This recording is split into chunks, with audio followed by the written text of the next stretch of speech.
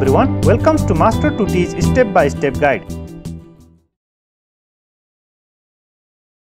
In this video, you will learn how to host a static website in AWS using S3 bucket, how to configure DNS server using Route 53 to connect your domain name with your static site.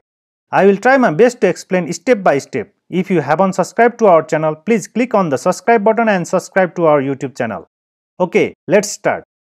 First of all, you need to have an account in AWS. I have AWS Educate account. Let me log in.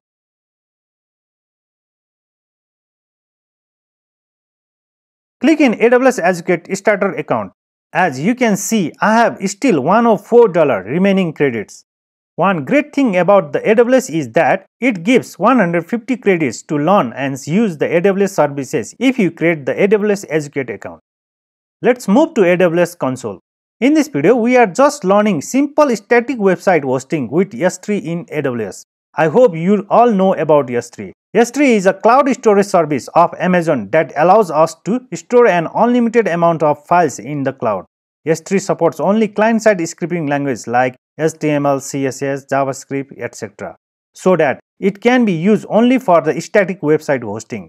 Its performance is great and secure. Another best thing about AWS is you pay for what you use. So at a very low cost, you can host your site and we don't need to worry about the space, it's unlimited. Let's see step by step. Expand the All Services tab as you can see all the services provided by the AWS. Navigate to S3 on the storage category. Here are 0 buckets for now. Let's create a new bucket to host the simple static website. Go through Create Bucket. Here, name a bucket. Note that bucket name must be unique worldwide, similar to the website domain name. So try with a unique name. Like if I try with bucket name, my bucket, definitely it already exists. We are creating a bucket to host a static website so that we need to follow the DNS compliance naming convention. So name the bucket name with your domain name like lokanthali.com. Next, select the region US East and Virginia. Another option is bucket setting for block public access. Since we are hosting static website, which must be all accessible through the front end. We have to make all pages and resources publicly accessible, otherwise it won't open. Uncheck the checkbox which says block all public access. It shows a warning. Acknowledge it. Click in create bucket. Okay, great. Bucket successfully created. Let's move further to upload the website files in it. Go inside the bucket, navigate to the upload button and click on it. In the pop-up, you will see four steps. Number 1. Select file. Number 2. Set permission. Number 3. Set properties and last review it. First, let's add the file.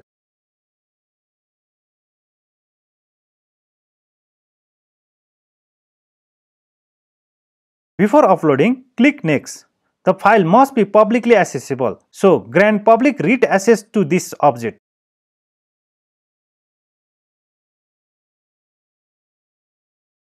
It shows again warning that everyone in the world will have read access to this object. Yes, we want all the world to visit our website. Regarding permission, after a few minutes, we will learn how to grant the permission for all files and folder at once. Next, next is storage class. We especially place the frequently accessed data in the standard. You can also store your data in archives like old data or currently unused data which can be useful in the future and which we can't delete it as well. So in this case, we use Glacier for low cost storage. For now, click the standard option. Next. Review it and click upload.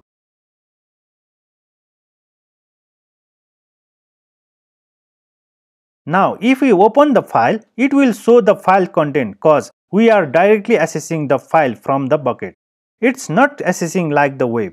For web, we need to host it, for which navigate to Properties menu, where you can see the static website hosting option. Click on it.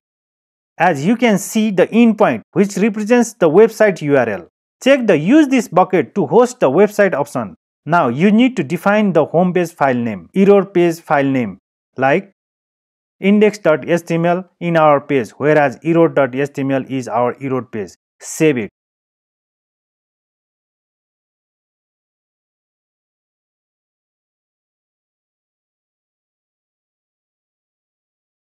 Let's test in the browser whether it's functioning or not. Copy the endpoint and paste in the browser. Good job, it's working fine. Now let's test for the error page as well. Okay, it's also working fine. Great. Let's upload all the files and folder and grant the permission to them at once. Upload all the files and folder.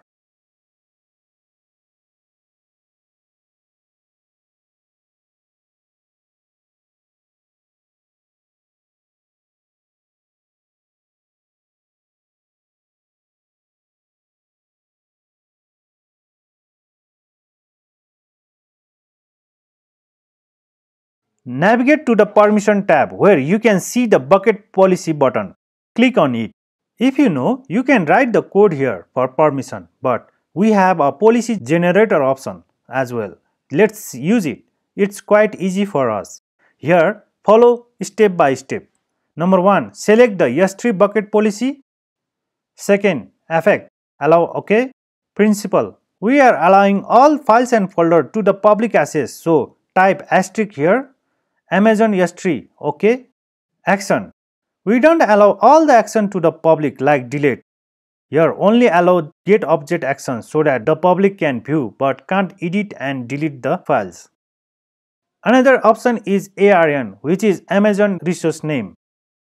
It is for identifying for which bucket this policy is for. We can copy the ARN from the previous page.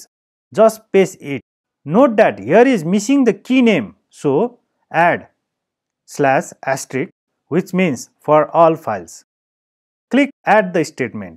Now you can generate policies. Copy the JSON code and paste on the previous page and save it. Now let's check it.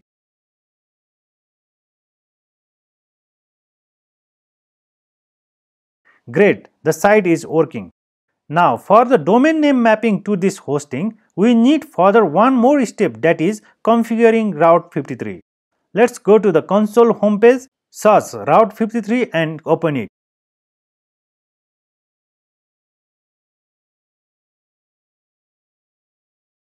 In DNS management, click on create hosted zone. Type the domain name, the same of bucket name. In our case, it's lokanthali.com. Click on the create button. Now, you need to map in between this Route 53 DNS and S3 bucket which we have uploaded our files. For that, click on create record set. In name, you can leave it empty. Now, check S for the alias where you will get alias target in the dropdown. Find S3 website endpoints where your hosting is listed over there. Select it. Note that if you do not follow the DNS compliance naming convention, mean if you choose a bucket name other than your domain name, it will not appear in the dropdown. You can see the DNS name server which you need to place in the domain name. Copy the DNS name servers and configure them in the domain name.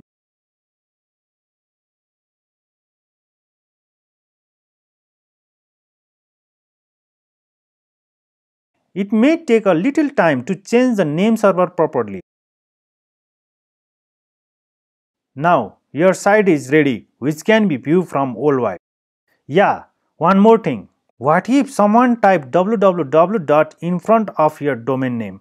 Oops, it's not working. It's very simple to solve this issue. Navigate to S3 again and create a new bucket with including www in front of your bucket name as www.lokanthali.com. Choose the region and make it bucket public as we did before.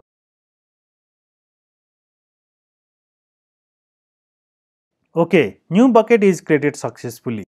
Here are two buckets, one without www whereas another is with www in front of the domain name. Now, what we are going to do is redirecting www.domain names to without www so that if the user hit www dot including or excluding our site will always open from without www name bucket.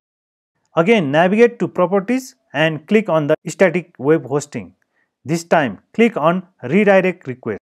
Place the target domain to the previous bucket name which is without www in domain name. In protocol, simply type HTTP for now. Save it. Now another one more step to do which is configuring the DNS server in Route 53. Navigate to Route 53 again and click on the same domain name which we had added before.